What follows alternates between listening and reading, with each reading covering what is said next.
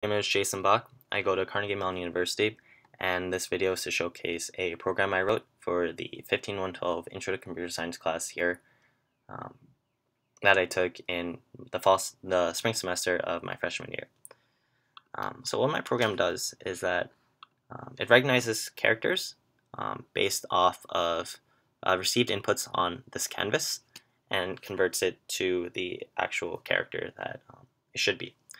So to do this, when I first initially um, run my program, I need to teach it some characters. So I press T and I get brought to this learning screen. Um, and I would draw my capital A. And I press enter in order to feed the data into the algorithm that I have. Now as you can see here, um, I have 20 inputs left for this current character, and I need a, um, I have about 60 characters left to learn. So this process takes a while.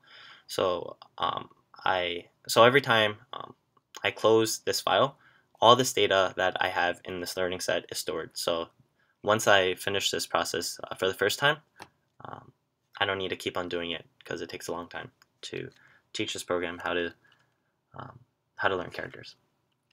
So let's recognize some characters. Um, let's draw an A, capital A.